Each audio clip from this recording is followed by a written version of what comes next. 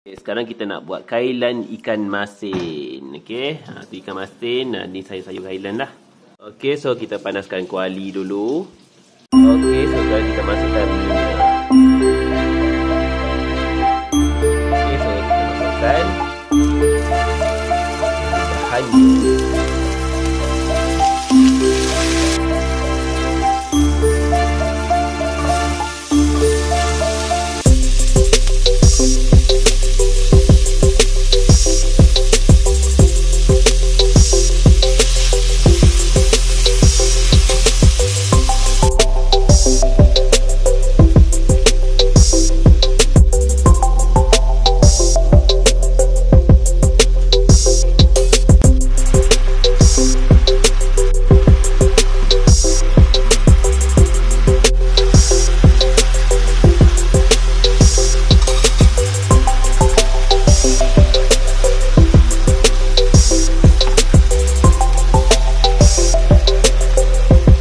kailan ka masingkit ah yeah.